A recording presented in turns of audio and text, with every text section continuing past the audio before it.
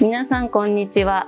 大畑歯科口腔外科世田谷分院に勤務しております歯科衛生士の森川と申します。当院は親知らずの抜歯や口腔粘膜疾患、顎関節症などといった口腔外科の分野を中心に一般診療も含め様々な治療を行っております。その中でも多く行っております科学に埋まっている親知らずの抜歯について今日は説明させていただきます。当院では一般の歯科医院では抜くことが困難な価格に深く埋まっている親知らずを抜くご依頼をたくさん受けております。このように深く埋まった親知らずを安全に抜くために当院では術前に CT を取りきちんとした精査を行います。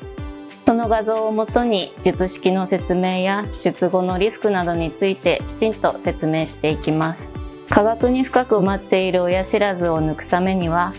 一般歯科で用いる浸潤麻酔の他に化学半分の感覚を麻痺させる伝達麻酔も併用してしっかりと痛みのないように手術を行います。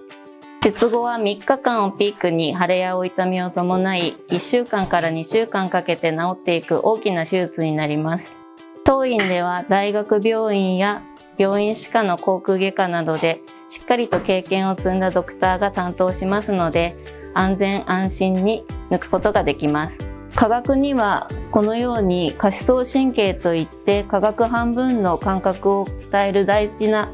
神経が通っています。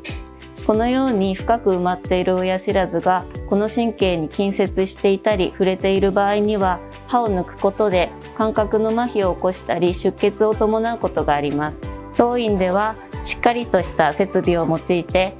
止血の処置や麻痺に対する治療もしっかり行っておりますのでご安心ください。もしかかりつけの歯科医院で抜くことが困難だと言われお困りの際にはぜひ当院にご相談ください。皆様のご来院をお待ちしております。